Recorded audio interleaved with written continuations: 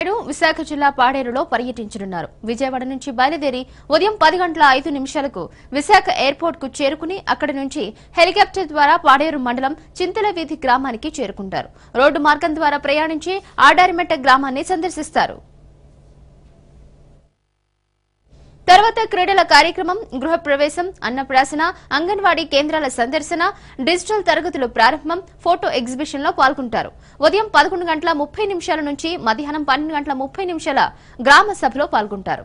అనంతరం రోడ్డు మార్గం ద్వారా పాడేరులో బీఆర్ అంబేద్కర్ విగ్రహం దగ్గర పదివేల మందితో సాగే ప్రదర్శనలో పాల్గొంటారు. మధ్యాహ్నం ఒ- ఒంటి గంట పదిహేను నిమిషాలకు మోదుకొండమ్మ అమ్మవారిని దర్శించుకుంటారు. ఆ తర్వాత రెండు గంటల పదిహేను నిమిషాలకు పాడేరు జూనియర్ కాలేజీ గ్రౌండ్స్లో వివిధ కార్యక్రమాలకు శంకుస్థాపన చేస్తారు. ఆస్తుల పత్రాల పంపిణీ అనంతర ప్రపంచ ఆదివాసీ దినోత్సవంలో పాల్గొంటారు.